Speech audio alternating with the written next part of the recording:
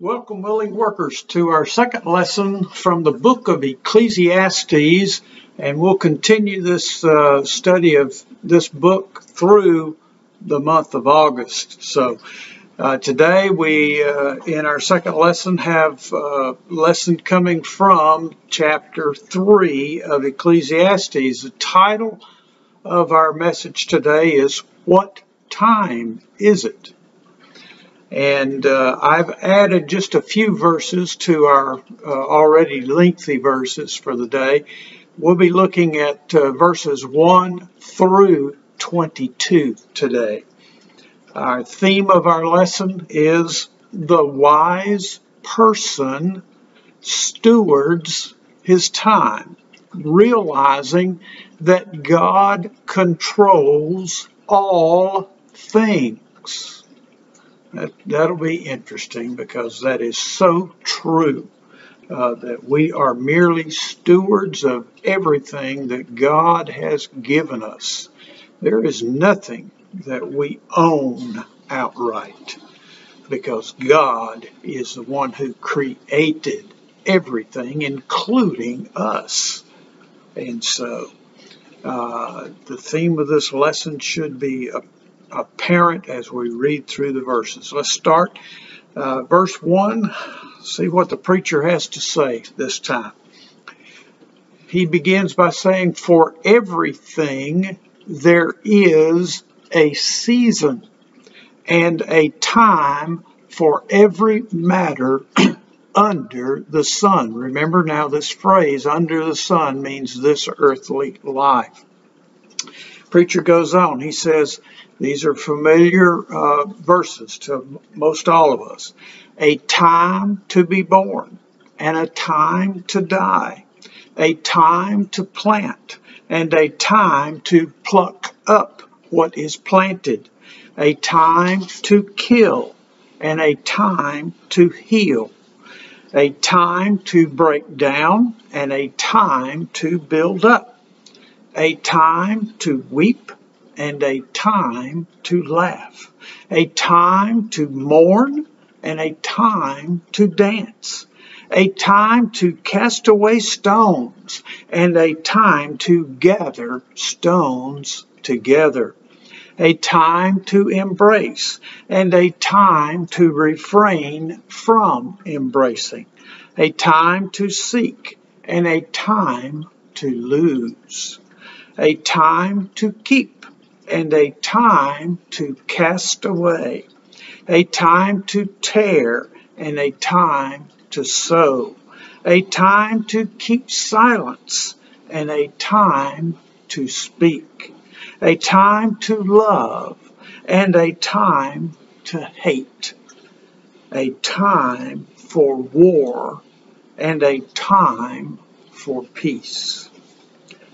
What gain has the worker from his toil, asks the preacher. I have seen the business that God has given to the children of man to be busy with. He has made everything beautiful in its time. Also, God has put eternity into man's heart, yet so that man cannot find out what God has done from the beginning to the end. I perceived that there is nothing better for men than to be joyful and to do good as long as they live. Also, that everyone should eat and drink and take pleasure in all his toil. This is God's gift to man. I perceived that whatever God does endures forever. Nothing can be added to it, nor anything taken away from what God does. God has done it so that people fear before God. That which is already has been.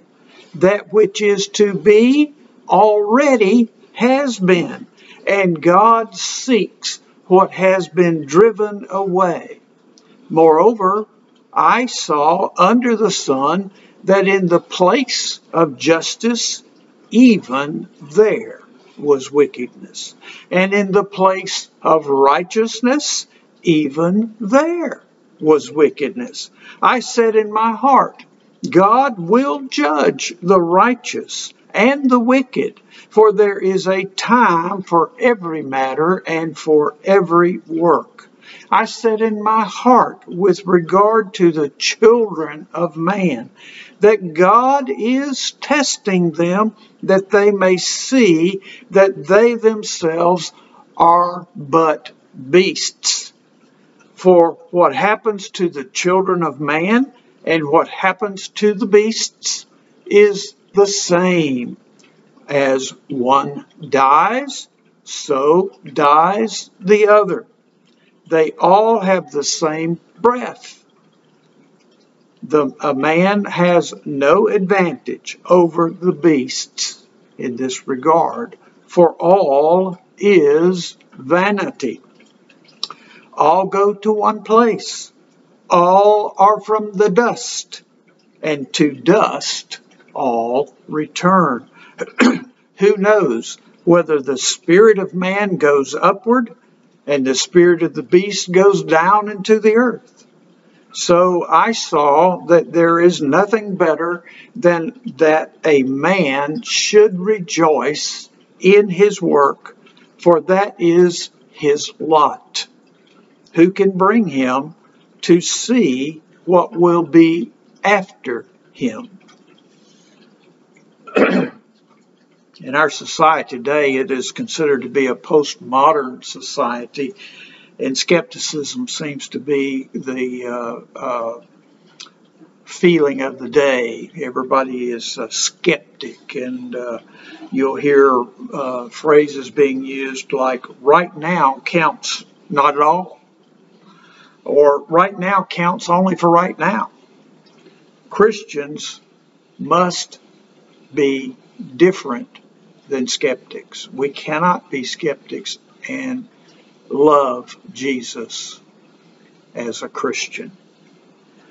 There is a God in heaven who will bring everything we have said, everything we have thought, and everything we have done into judgment, a, a just judgment and he will render a verdict on all of that. He has entrusted and given that authority to his only begotten Son, Jesus the Christ. When speaking of forever, a time reference is made. When is forever? You know, uh, the biblical understanding of time is key here in Ecclesiastes' message throughout the book. Many ancient cultures thought that a cyclical understanding of time was proper, and the religions that were brought forth from that, uh, especially today, a lot of the Eastern religions hold this view of time being cyclical and that you live and you die and you come back again in some other form. You live and you die and you come back again in some other form. You know, the cyclical view says that uh, that time is a recurring loop that has no beginning and no end. History somehow gets started, goes through its cycle of events, and ends and starts again and I'll ad infinitum is how this cycle goes. If time, though, is a cycle, we are stuck in a pattern that allows us for no advance and no final evaluation. No transcendent meaning is possible in such a scenario as a cyclical time. On the other hand, the scriptures present time to us that we live in as a linear view. Uh, there is a definite beginning to history, and that is the creation that God started. And all things are moving to a final point when the kingdom of Christ our Lord will be consummated and God will be all in all. We can read about that in 1 Corinthians 15, verses 20 to 28. This view of time allows for a real change and a real advancement of each individual that lives in it, all under the watchful eye of our sovereign God. And uh, God has determined a time and a purpose for everything that happens. That is the point of the preacher's message today that we have read. There is a time to be born and a time to die. Each of us has a date when we were born, and each of us has a date. Though we're alive today, we have a date in the future of time when we will die. Our Father has determined our lifespans. He has appointed a purpose for each of us. Some people don't believe that, but you can read about that in Psalm 139, verse 16. God has determined that there are times to do certain things. There are times to kill. That would be the lawful execution of force against those guilty of capital crimes. We don't do that much anymore. The cutting away of diseased flesh of the society is who and what these capital criminals are. He also says there's a time to heal God has also declared there's a time for war against the world, against the flesh, and against the devil. That war was won at Calvary. But there are still skirmishes going on because not everybody believes that the war is over.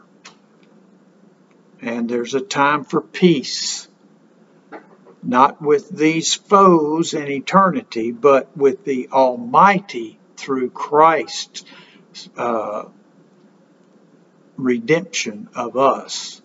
We are reconciled with God and we have peace with God, although war rages around us and sometimes engulfs us. Because God has written down history as His story, we know there is an appropriate time for all events. None of the events that God has ordained are pointless. Now, Scripture is concerned with answering this question, the title of our lesson today. What time is it?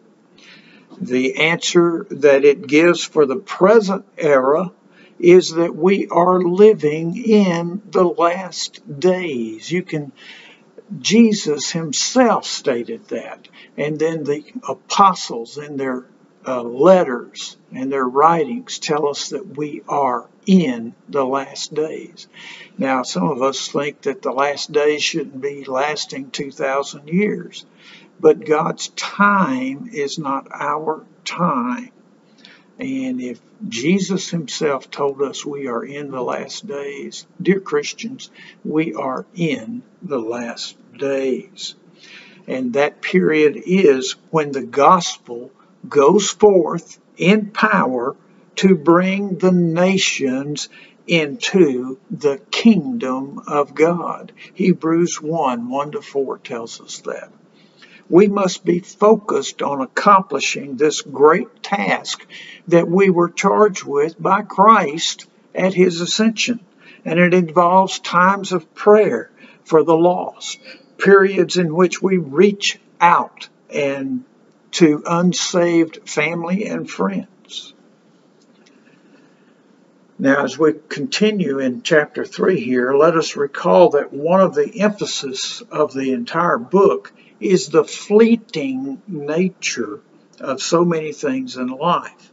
and how we are to live in light of that reality. Things that we have today that we call ours after our death are no longer ours. We stand as we are before God Almighty when we die. It is not that we are to blindly accept the maxim that nothing lasts forever. God has put eternity into the hearts of all men and women. And we know that death does not represent the end of our human existence. We're told that in Scripture. Eternal life in the blessed presence of God or eternal death in the lake of fire awaits every human being. And I appeal to those who may not know Jesus as their Savior and Lord to do so while there is still time. Revelation 20 and 21 tells us about that differentiation between those who live in the pre- blessed presence of God and those who reside in the lake of fire eternally. Nevertheless, it is true that pleasure this side of glory is sometimes fleeting for us. What is here today may be gone tomorrow. Today we might be in great health. Tomorrow we could be diagnosed with a terminal case of cancer. Today might be a day of feasting. Tomorrow we might lose our jobs and know what it means to suffer a lack of things. We cannot hold on to anything except our Redeemer and Lord Jesus Christ. And it is also good to know that He holds on to us and He never lets go, though we may from time to time let go for various reasons. Now, our verses today present the reality through a series of couplets that show uh, that there is both a time for one thing and a time for another. That's what we had in the first eight verses. Uh, and uh, though we laugh today, a tragedy can soon turn our laughter into mourning. There is even a proper time for love and a proper time for hate.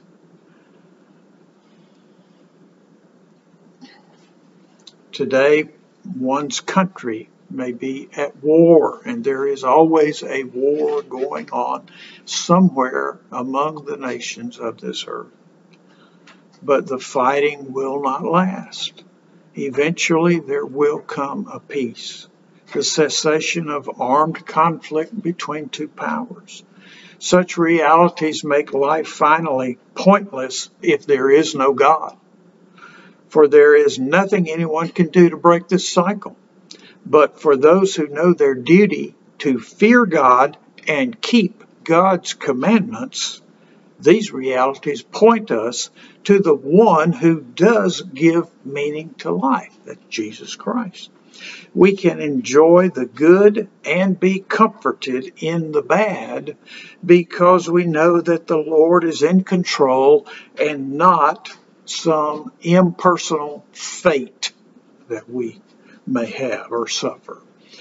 God will sustain us, bringing every secret thing under judgment, rewarding his own people in Christ, condemning those who reject the Savior.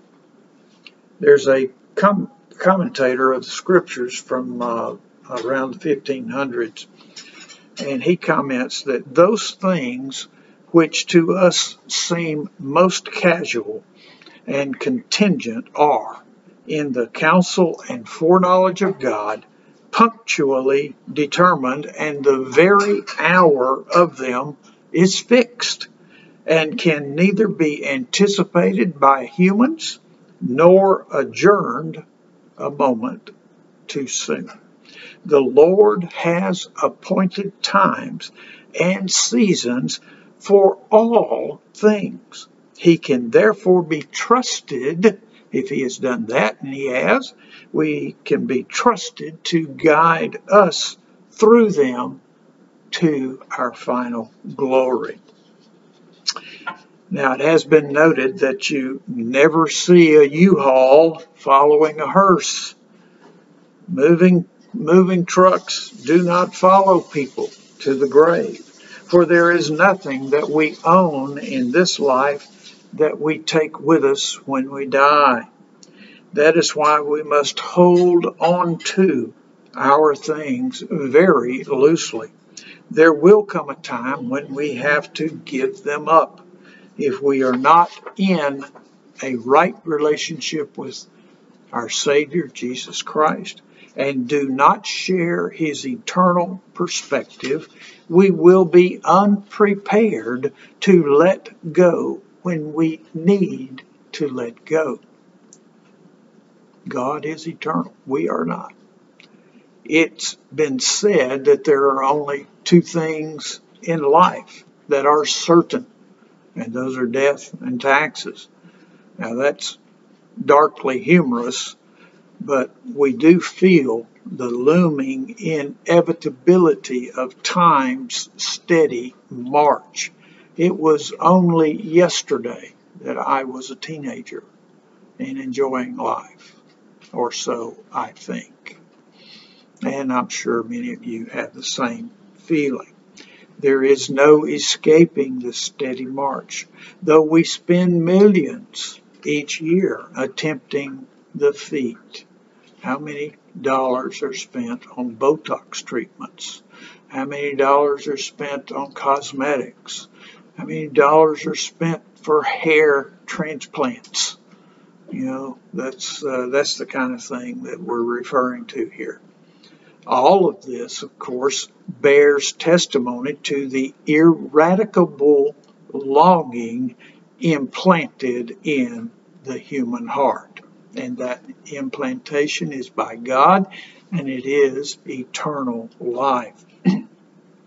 One of our verses, verse 11, God says, He has made everything beautiful in its time. And it also says that God has put eternity in man's heart, yet so that man cannot find out what God has done from the beginning to the end. Death is a curse. It came when Adam and Eve disobeyed God and this creation became cursed. And it's something from which all people long to be delivered.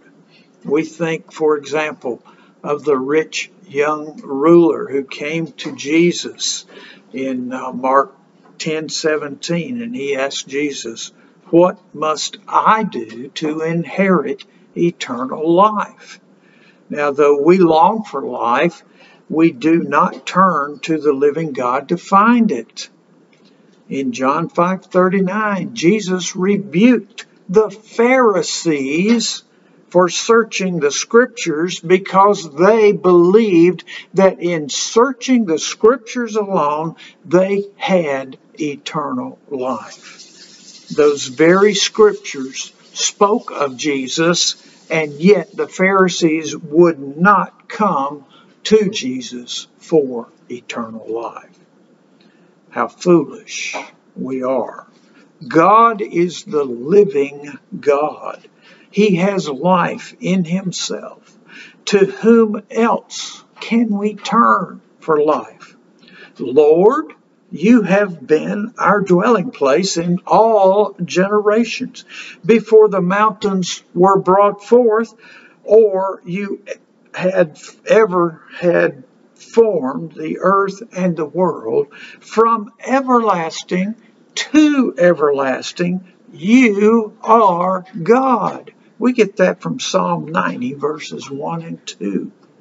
If the attribute of infinity teaches us that God has no limits of space or power, the attribute of eternity is its perfect complement. It teaches us that God has no limits of duration or time God has no beginning. God has no end. He is self-existent. And he didn't create us because he needed something. He created us for his glory. And that is the end of all mankind. To glorify God. And through his son Jesus Christ, those who believe to enjoy him eternally. It is not simply that God lasts forever, as though he were merely capable of enduring without end the unceasing successions of moments. Rather, God's eternity is that he is not subject to time. It's hard for us to wrap our mind around us. We sit in a time bubble. God sits outside of that time bubble. There is no time in God's presence. God's eternity means that He is not subject to our time. Uh, he does not move through time as we, His creatures, do.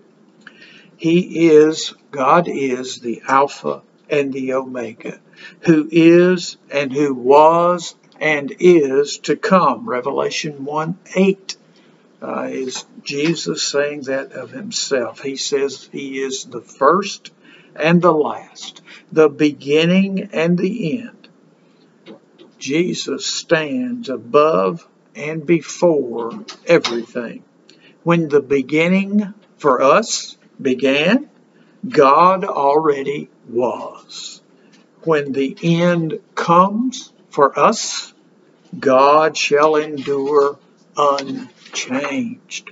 Now, this is true of Jesus the Christ as it is of God the Father and God the Holy Spirit. In John 8:58, Jesus declared, "Before Abraham was, I am." I am is a purposeful echo of the divine name which derives from the Hebrew verb that means to be. God is the great I am who I am. He told Moses that in Exodus 3:14. Now this means that God possesses self-existence, self-independence, and the power of being is within himself.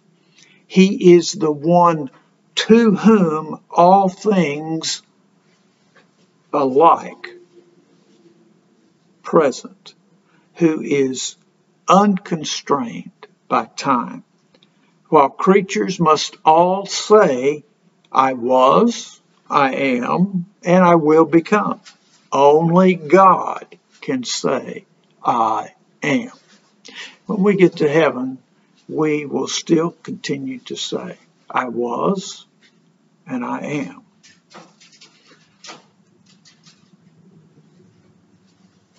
There is no becoming in God. Jesus also said in John 8:58, which teaches us about this great I am who became flesh and dwelt among us. John wrote that in chapter 1 of his book, verse 14. This means that as Hebrews 13:8 reminds us that Jesus Christ is the same yesterday, today, and forever. That is why he is the fountain of eternal life.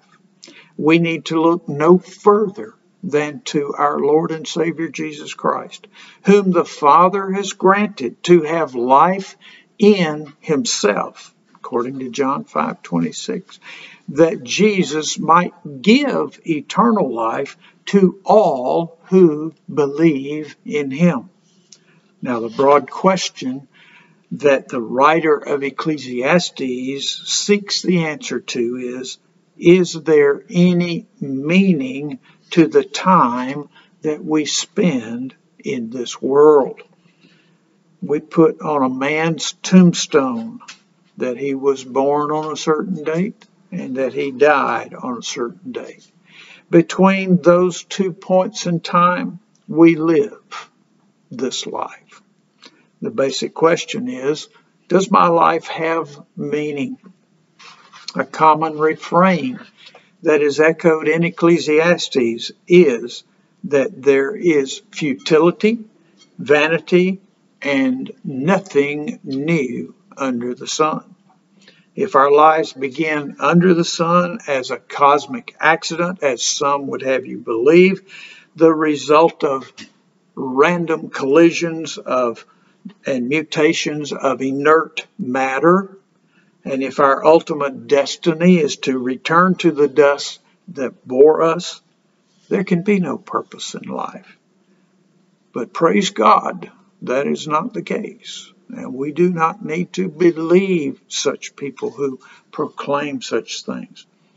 When we cease to look under the sun and seek our destiny under heaven, we find our purpose in this life.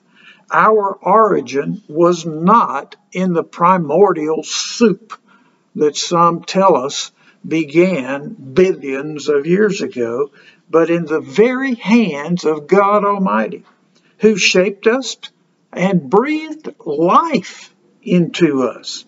Our destiny is not to return to dust, but to give honor and praise to the God of this universe that He created. And we will give that praise to Him forever as we exist in His presence in eternity. Under heaven, we find purpose.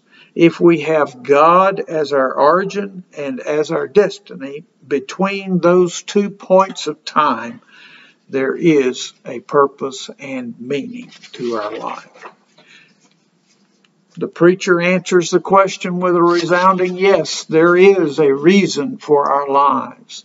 There is a reason for our suffering and a reason for our pain. There is also a reason for our joy. Are you living your life under the sun or under heaven? Have you found true purpose and meaning to your life? Ecclesiastes 2:22 tells us this, "For what has a man for all his labor, and for the striving of his heart with which he has toiled under the sun?" 2 Timothy chapter 1 verses 8 and 9 Paul writes, "Therefore do not be ashamed of the testimony of our Lord, who has saved us and called us with holy calling." Not according to our works, but according to his own purpose and grace, which was given to us in Christ Jesus before time began. Ecclesiastes chapter 12, verse 13 says this Let us hear the conclusion of the whole matter. Fear God and keep his commandments, for this is the whole duty of man.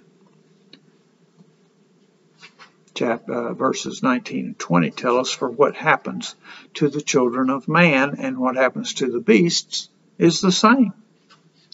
Scripture gives us the truth about God, but is equally the case that it gives us the truth about human beings. Often the Bible does this by juxtaposing a key truth about God and a key truth about humanity. We see that in these verses, these last verses that we read.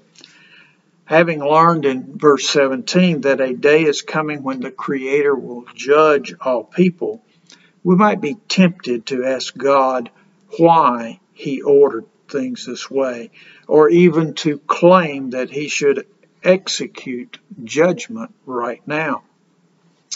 But we need to be careful because we learned what Job had happened to him when he questioned why the Creator is doing anything. It is not ours to question why, because we are as the pot to the potter who is making it. We are but clay vessels that are being used by its creator. God is testing human beings that they may see that they themselves are nothing more than the beasts of the field. The seeming delay of judgment is meant to bring us to the realization that, like the animals, we are mere creatures and not in control of time or the seasons for judgment. And creatures have no right to demand anything from their Creator. The last verses of our uh, lesson today assist us in developing an appropriate understanding of our place and significance in God's created order. Despite the fact that we are made in God's image and are more like Him than is any other created being that God has made, we are still just that. We are created. We do not have self existing power.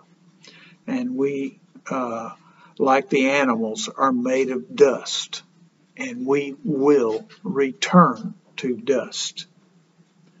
And yet we are not like the animals in every respect. This may not be plain at first, for this verse, which is difficult in Hebrew, is hard to render in English. The preacher that makes it seem as if he is uncertain about where the spirits of people and beasts go when they die. However, several commentators believe that the preacher is actually making a statement of certainty, namely that although like humanity and beasts go to the grave, the afterlife for each is different.